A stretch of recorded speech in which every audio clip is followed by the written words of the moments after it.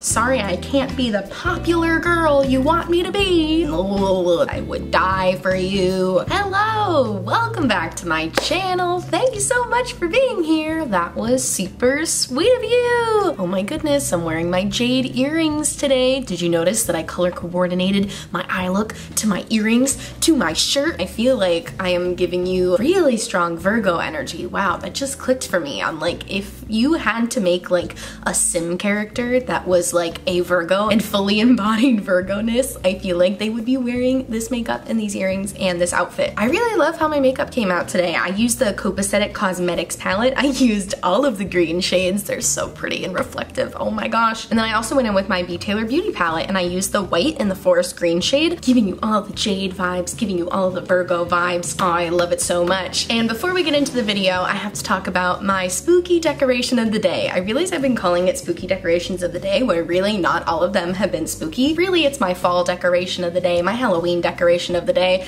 and today I have a fun one for you. Look at this!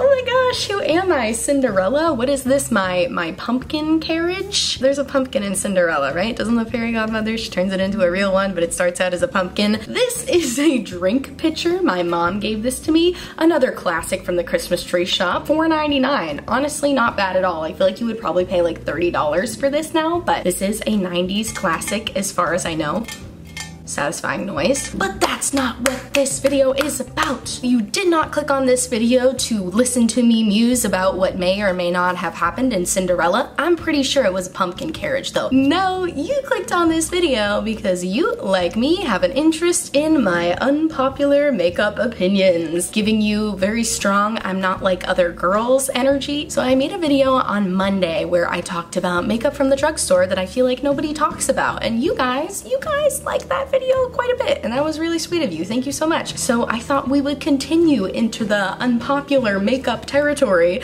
but today I'm gonna be talking about unpopular makeup opinions, makeup I don't like, techniques that I like that I feel like nobody else likes. I have a feeling I'm gonna ruffle a few feathers with this video, but you know what? It's okay. We don't have to have the same makeup opinions. That's what makes the beauty industry so fun and exciting and unique is that everybody has different preferences and everybody has different products that they like and that's why why it's a billion dollar industry. So if that sounds like a topic that is interesting to you and you want to hear about my unpopular makeup opinions, then I encourage you to please subscribe. No, seriously, subscribe. 70% of you that watch my videos don't subscribe. What's up with that? Subscribe, it's free, I'd love to have you. And keep on watching because it's coming at you right now. Alright, so my first unpopular makeup opinion. This one I know is an unpopular opinion. I did not learn this technique from anybody else. The reason I do it is purely just because I realized it's the way that works best for me. Am I being vague enough? It's applying foundation with my fingers. My fingers are my favorite tool for applying complexion products,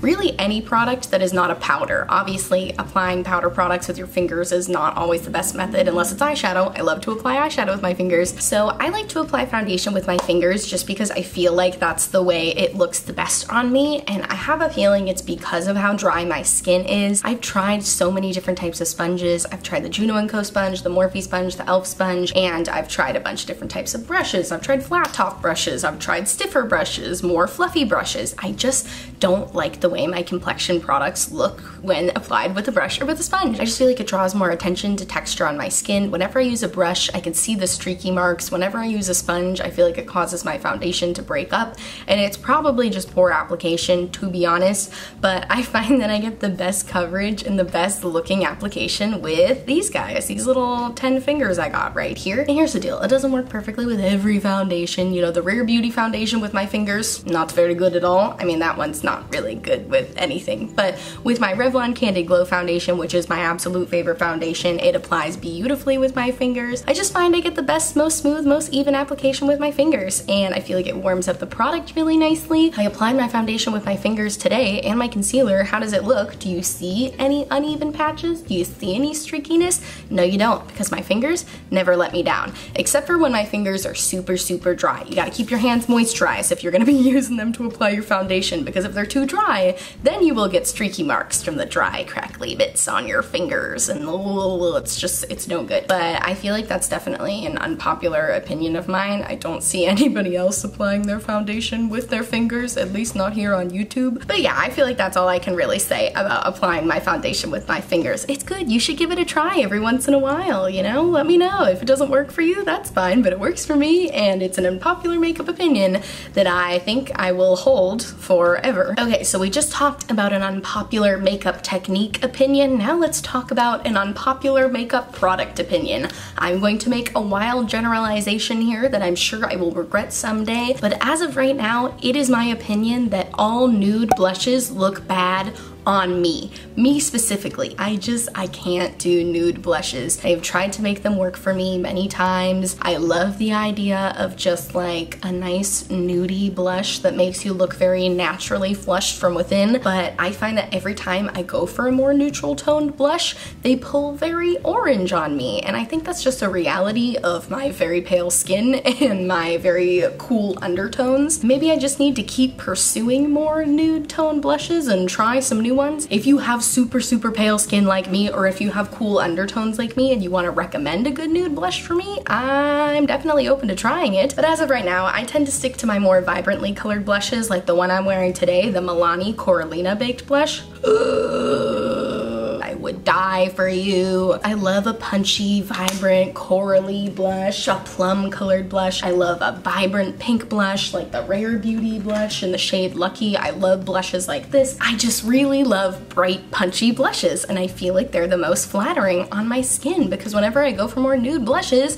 they just look orange on me, you know? If you have any neutral blush recommendations for me that you think work well on cool undertones and really, really, really pale skin tones, definitely leave me your recommendations recommendations down below. I'd love to hear them. I always appreciate when you leave me recommendations, but as of right now, it is my unpopular opinion that neutral blushes look bad on me. All right, moving on to my next unpopular makeup opinion, and that is that felt eyeliners suck. And I understand that that's not a reality for everybody, but for me, felt eyeliners there are no good ones. It doesn't matter how expensive, it doesn't matter how flexible the tip is, it doesn't matter how strongly pigmented the eyeliner is. It just doesn't work for me and for my eye shape. So I have hooded slash deep set eyes. I get kind of confused in between because I don't think I have a fully hooded eye, but it definitely like when I do this, the lid disappears. But my eyes are more on the hooded side. So when I go in with a felt tip liner, there's skips, there's a little jumps. I can't go evenly. Like I said, it doesn't matter how flexible the tip is.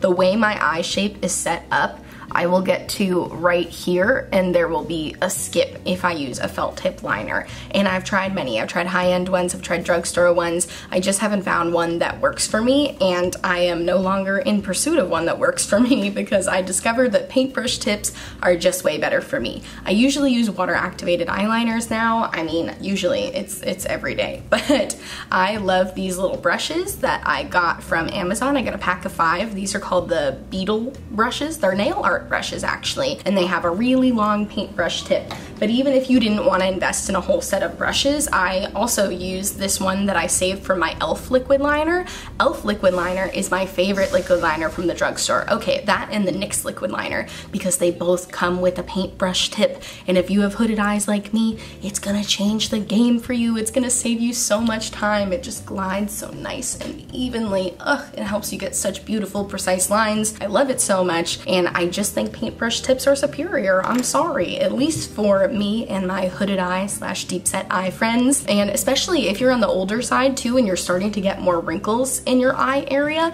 I think that the paintbrush tip would be amazing for you because you don't get any of that skippiness that you get with the felt tip liners. So felt tip liners are bad. That is my unpopular opinion for my skin and eyes specifically. Sorry, I can't be the popular girl you want me to be. okay, so my next unpopular makeup opinion does have one exception to the rule, and I will tell you what that is, but I believe that overall, hydrating primers are a scam. Okay, there's a couple exceptions. So if a primer is both hydrating and pore filling, then okay, you know, it might still be worth worth buying because at least it's doing some pore filling. But I find that like 99.99999% of the time, if you look at the ingredients on a hydrating primer, it's just like the same as what's in your moisturizer and it's really, you know, you just, you don't need it and you can get it and that's fine, but you don't necessarily need it. And the exception to the rule I'm talking about isn't even really an exception because I don't need it, but I do love the Rare Beauty Illuminating Primer. That is like the only primer I've ever used that I feel like just actually makes my skin look good. But even at the end of the day, that one is just like a moisturizer with some pearls in it. And I love the way it looks, but I also recognize that I don't need it and I can find other ways to make my skin look the same without using that. But I just feel like overall hydrating primers, you know, like I said, they tend to have some nice oils in them, some moisturizing ingredients, and that is great. And if you have the accessibility to buy one and that's within your price range, that's awesome. But I just feel like when I first started out in makeup, I went to Sephora and they were like, oh, you can't wear foundation without a primer. You have to buy a primer. And like, obviously, you know, they're trying to sell you, whatever. But I had this idea in my head when I first got into makeup that like, if you don't have a primer, you can't wear foundation. You have to wear foundation with a primer. And then I tried foundation without a primer and realized, oh, no, you don't really need the primer. Because I feel like a lot of makeup artists will tell you that skin prep is a really important part of making your base makeup look good. And when you tend to look at like the professionals and everybody, they're just using really thick moisturizers. And obviously the makeup brands have picked up on this and they brand their own moisturizers by calling them primers. Like I know Charlotte Tilbury does her magic cream, which is literally just a moisturizer for a $100. And then I know Bobbi Brown has her vitamin enriched face base everybody loves that again is just really a moisturizer with a bunch of nice oils in it. That's great, but you don't have to spend a lot of money to buy a super hydrating moisturizer, know? My favorite hydrating primer that I use all the time and I tell everybody about is the CeraVe Moisturizing Cream. Oh my gosh, this is the best hydrating primer because it's thick but not too oily. Like this doesn't have oils in it, so if you're somebody who's not looking for like super dewy, then you can definitely use this too. It's just a really nice hydrating moisturizer that sinks into the skin quickly and lasts a long time. It's gonna keep your face hydrated for a long time. And every single foundation that I have tried with this, actually aside from the Rare Beauty foundation, the Rare Beauty foundation doesn't get along with many of my products at all, but this moisturizer works well with all of my other foundations, works great with my Milk Flex Stick foundation, works great with my Revlon Candid Glow foundation. It's just a really user-friendly moisturizer and this is super cheap. This is like $5 for this size, I think $10 for their full size. So it's nice and affordable. It's not marketed as a primer, but it is going to give you a nice primed, hydrating base. And I just don't think you need to spend a lot of money on a hydrating primer. Again, like I said, if you wanna go for pore filling, if you wanna go for pore blurring primers, I definitely don't think those are a scam. I think those absolutely work. But if you are somebody like me who has really dry skin that for a while was buying hydrating primers and not understanding why they weren't doing anything all that special, I think it is because they are a scam. And that's just my unpopular opinion. Alrighty, moving on to my last unpopular opinion, and that opinion is that all liquid concealer is bad for dry skin. I spent many years trying to find the liquid concealer for me. I tried many of your cult favorites like the NYX HD concealer, the e.l.f. Camo concealer, the ColourPop No Filter concealer. I have used so many liquid concealers and I just always found that they made my under eyes and spot concealing just look so dry. They look so dry and horrible on my skin and I thought, oh, maybe it's my base. Maybe my base isn't hydrated enough. So I added more moisturizer, added a more hydrating base, and I finally came to the conclusion that liquid concealer is just not suitable for dry skin. At least not dry skin as dry as my dry skin is because it always draws attention to texture. It always ends up looking crackly, even if it doesn't right away. After a few hours, it'll start to look really dry and crusty and crepey. I just feel like liquid concealer is a no-go for dry skin. And once I made the switch to cream concealer, my under eyes were like, oh, thank you, this is wonderful. We look so much better now. I talk about this one all the time, the NYX Conceal Correct Contour Palette. Hands down, my favorite concealer I've ever used. The formula is just so nice and hydrating under my eyes, but it's not so hydrating that it's like the Glossier Stretch Concealer, which is beautiful, but never dries down and makes my mascara transfer. So I would definitely recommend checking out the NYX Conceal Correct Contour Palette if you too struggle with liquid concealer not looking good on you. But um, yeah, those are my unpopular opinions on liquid concealer. Don't like them, don't intend to use them ever again. Look at what a delicate curl that is. How romantic. I look like I'm on the cover of a romance novel, holding a bunch of roses or something. All right, and with that, we have reached the end of the video. I hope you enjoyed hearing about my unpopular makeup opinions. I would love to hear yours in the comments. I love hearing about people's unpopular makeup opinions. You know, it's it's okay to say I'm not like other girls sometimes because you know what? You're not. You're not like other girls. You are you and you are very unique and very cool and I want to hear your unpopular makeup opinions. I had so much fun doing this and if you feel like I said anything that is an unpopular opinion that I could eradicate by doing something differently, for example, if you have a neutral blush recommendation that you don't think will make me look orange, I would love to hear that.